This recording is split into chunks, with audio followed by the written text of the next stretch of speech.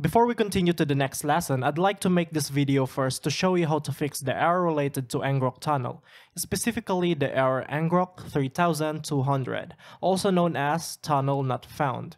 So if we go back to the Shopify app project and here in the terminal we type Shopify app serve, and if we open the URL generated by this command, specifically the one in green text, if we open this, and as you can see, we have the following error, ngrok 3200.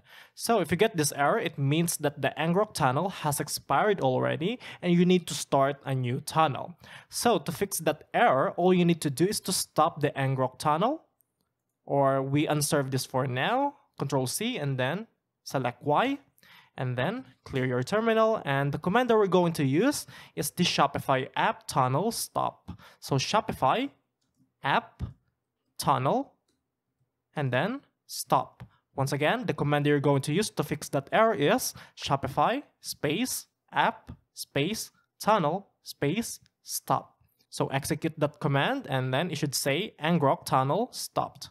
And once you get that, the next thing you're going to do is to serve the app once again using the Shopify app serve. That should create a new ngrok tunnel and then you will have a new URL. So open this URL. And there you go. As you can see, now it's working.